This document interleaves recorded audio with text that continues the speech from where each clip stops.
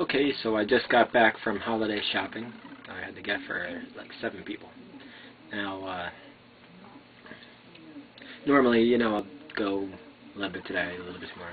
It's the first year that I got everybody all in one trip. So that was good. One thing that bothered me though, I went to a couple different stores. I went to two different malls, and um, Menlo Park Mall and Woodbridge Mall, if any is now, they're like a mile apart from each other. So but traffic ridiculous. But uh, for my uh, grab bag, I got uh, a Yankees fan, and I got this nice Yankee Stadium that lights up and everything's really nice. And uh, it was forty-four dollars at uh, Menlo Park, and then uh, got everything I needed. And I figured I'd just pick up, you know, a couple of stocking stuffer type things so I went over to the Woodbridge Mall and saw the exact same Yankee Stadium, of course, for $34. So I bought that one, and I figured I'd return the other one.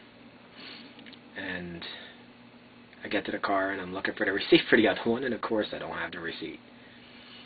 So, yeah, I got a lot of bags here, so I got to look through them, but hopefully I can find it. If not, I could take back the one or give it to so many Yankee fans are all over the place around here, so that shouldn't be a problem to find somebody that would like it. Um, now, you're going to be uh, uh, parking, ridiculous. Not a single spot in the Menlo Park. And as a matter of fact, I was about to leave. I was on my way out, which I wish I did leave, and went to Woodbridge and then went back to Menlo Park later. But I was just on my way to leave, and just so happened that somebody was pulling out of a spot just as I decided that, that there was no there was no parking spots. I wasn't driving around, and I'm not following people that are walking in a car. Because there's always some other guy that just comes out of nowhere and he claims a spot or whatever. I've got into arguments about that before. That's for a different video, though. That's not a Christmas video. So, uh, as I'm walking into the store and when I went to Woodbridge into the mall, I'm there's a bunch of cars, you know, a line of cars, parked cars, and I'm walking out of the parked cars, and all of a sudden a car comes zipping by me in the parking lot, filled with people, cars everywhere, goes like 35, 40 miles an hour right in front of me. And not only that, he was on the left of another car that was going, you know, like 25, normal speed limit for a parking lot cuts in front of him, and then pulls into the parking spot that a little bit away. Now, I'm guessing that's why he was in such a hurry. He didn't want the other person to get it, but is it worth killing somebody over? Running my feet over? And be safe. That's all I'm saying. Be careful. It's not worth hitting somebody. It's not worth... That's why I was going to leave the Menlo Park. It's just not worth the hanging around. Always another day. I could have gone tomorrow.